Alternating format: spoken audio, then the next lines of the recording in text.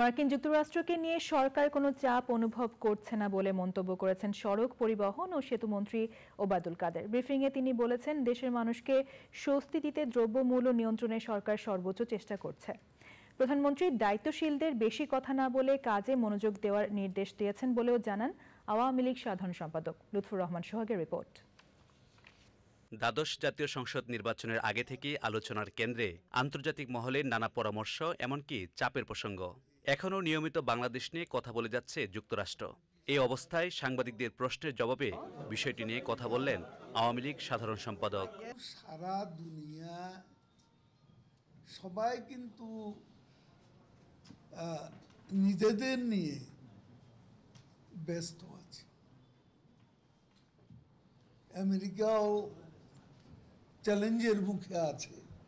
আমেরিকার তো এখানে নানান চিন্তা আছে। তাদের নিজেদেরকে নিজেদের চ্যালেঞ্জ মোকাবেলা তারা ব্যস্ত। বাংলাদেশের দিকে আর অত- মনোযোগ দেওয়ার সময় তাদের কোথায় তা নিজেরাই তো ব্যস্ত। সরকার বিরোধীদের দমন করতে চাইছে বলে বিভিন্ন মহলের অভিযোগের প্রসঙ্গ টেনে দ্রুত বিচার আইন করার উদ্যোগের বিষয়েও প্রশ্ন ছিল ওবায়দুল কাদেরের কাছে।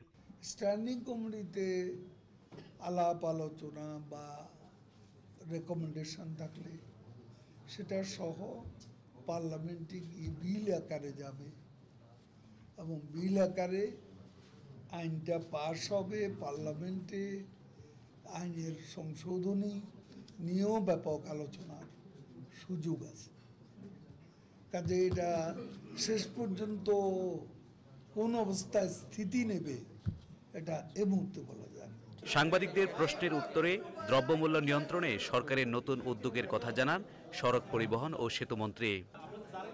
লুথরমান সোহাগ চ্যানেল আই ঢাকা।